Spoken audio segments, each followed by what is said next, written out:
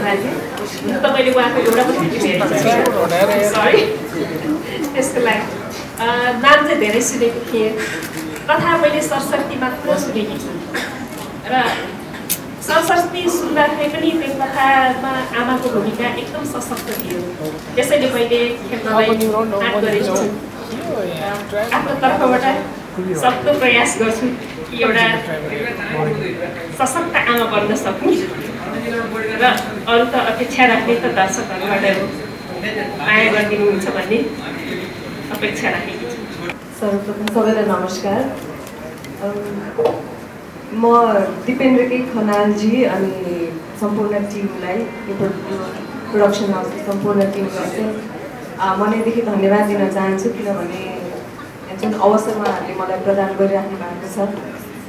चाहे त्यो एउटा सशक्त सिनेमामा काम गर्ने कुरा होस् चाहे त्यो यति दिग्गज वरिष्ठ कलाकारहरूसँग काम गर्ने अवसर होस् या चाहे त्यो घर गएर मम्मी बुवाले सोद्धाखेरि कुन फिल्म गर्दैछ जस्तो छोरी भन्दाखेरि चाहिँ अलिकति प्राउडली भन्न पाउने अवसर होस् त्यो सबै प्रदान गरिदिइराख्नु भएको छ। त्यसको लागि चाहिँ यो टिमलाई धेरै धेरै धन्यवाद। आशा छ दिपेन्द्रजी र उहाँका टिमले जुन सपना देखिराख्नु भएको छ त्यो सपना चाहिँ पुरा गर्नका निम्ति म पूर्ण रूपमा लाग्न सकौँ इमान्दारीमा पस्न सकौँ। छोरीको भूमिकामा छु आशा छ म पनि एउटा कुशल छोरी राम्रो छोरी बन्न सक्छु होला। त्यही नै भन्न चाहन्छु। धन्यवाद। आज हामीले हरेक व्यक्तिको प्रेरणाको स्रोत संसार देखाउने अनि चिनाउने हाम्रो उज्जवल भविष्यको लागि आफ्ना सबै खुसीहरू बलिदान गर्ने महान नारी आमा नेपाली फिल्म बनाउने जानकारी गराउन पाउँदा हृदयदेखि नै महसुस हृदयदेखि नै गौरव महसुस गरेकी छु। र उपस्थित शुभचिन्तकहरू हजुर सबै पत्रकारज्यूहरू सबैको बढी भन्दा बढी सहयोग पाउँछु भनेर पूर्ण आशा राखेकी छु। नमस्कार। सठिक रूपमा आफ्ना कुराहरू सर्वप्रथम त दिपेन्द्र के खनालद्वारा निर्देशित चलचित्र आमा बन्न लागेकोमा म सम्पूर्ण टिमलाई चलचित्र पत्रकार सङ्घ र मेरो व्यक्तिगत तर्फबाट हृदयदेखि नै सफलताको हार्दिक शुभकामना व्यक्त गर्न चाहन्छु। चलचित्रको टाइटल एकदमै राम्रो छ। सबैले आदर गर्नुपर्ने गर्व गर्नुपर्ने नामको टाइटल जुराएर यो चलचित्र निर्माणमा लाग्नु भएको छ। मलाई जहाँसम्म लाग्छ यो टाइटलले पनि नेपाली दर्शकहरूलाई हलसम्म पुर्याउनको लागि आकर्षित गर्ने नै छ र यो चलचित्रको कन्टेन्टको कुरा दिपेन्द्र के खनालद्वारा निर्देशित चलचित्रहरू आफैमा दमदार र मौलिक कन्टेन्ट भएको चलचित्र हो भन्ने कुरामा दुई मत छैन कसैको पनि। र यति भनिराख्दा म अर्को पनि एउटा प्रसङ्ग यहाँ जोड्न चाहन्छु। पछिल्लो क्रममा हामी पत्रकारहरूलाई पनि चलचित्र क्षेत्रलाई सपार्नका निम्ति आफआफ्नो तर्फबाट भूमिका खेलिदिनु पर्यो भनेर चलचित्र क्षेत्रमा अहोरात्र लागिपर्ने दिग्गज व्यक्तित्वहरूबाट अनुरोध आइरहेको हामी सबैले महसुस गरेकै छौँ होला।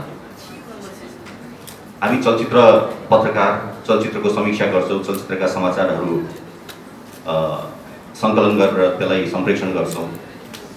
तर पछिल्लो क्रममा समीक्षा लेख्ने सवालमा चाहिँ हामी अलिकति हतारिएका हौँ कि भन्ने पनि गुनासोहरू सबैतिरबाट आएको छ।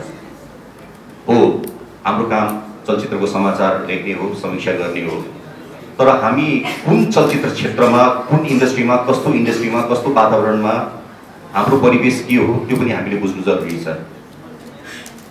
समीक्षाको नाममा चलचित्र क्षेत्रलाई नै ध्वस्त बनाउने र चलचित्र क्षेत्रलाई माथि उठाउन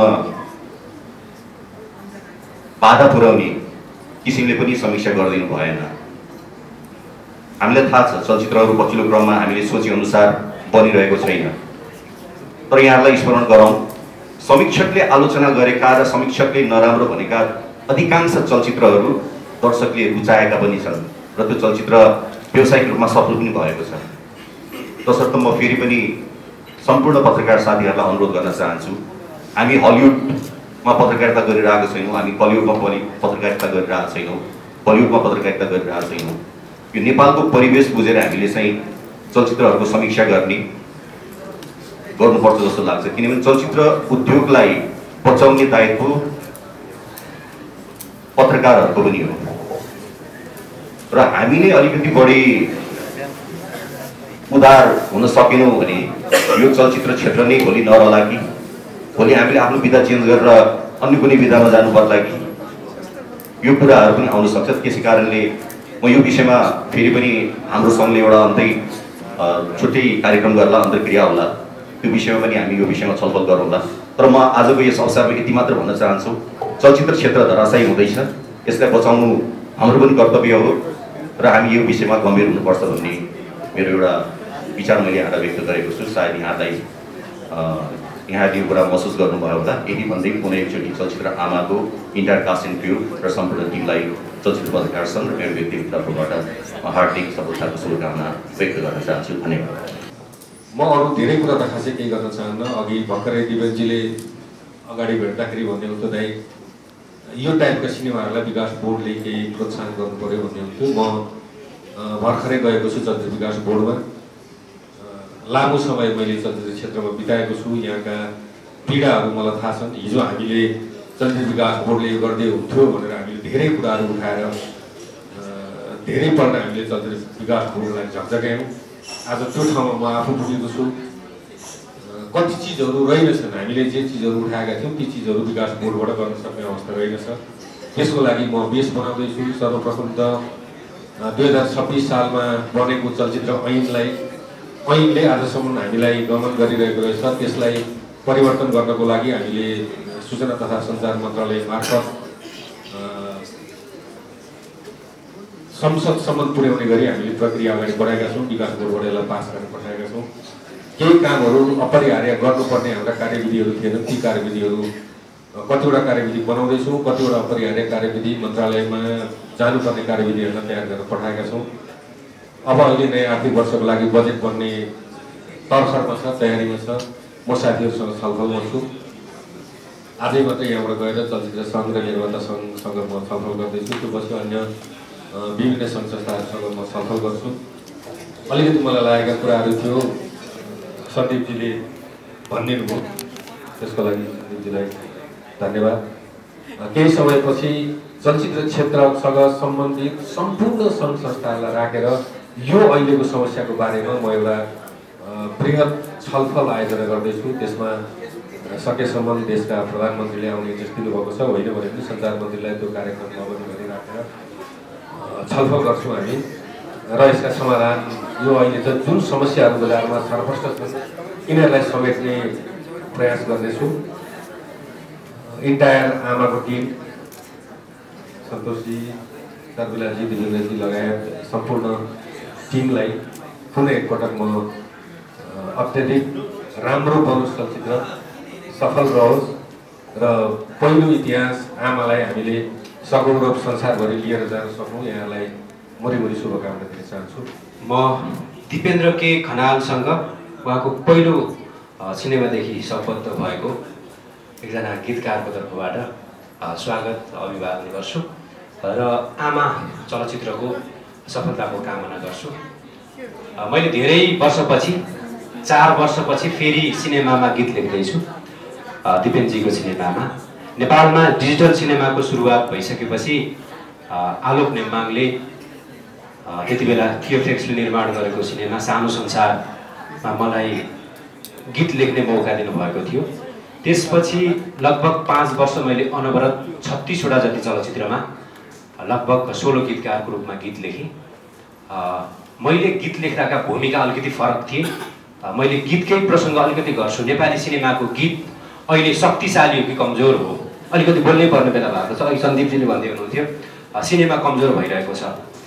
दक्षिण एसियामा निर्माण भएका सिनेमामा गीतको भूमिका हुन्छ। कथाले मागे अनुसार गीत बनाइन्छ निर्माण गरिन्छ।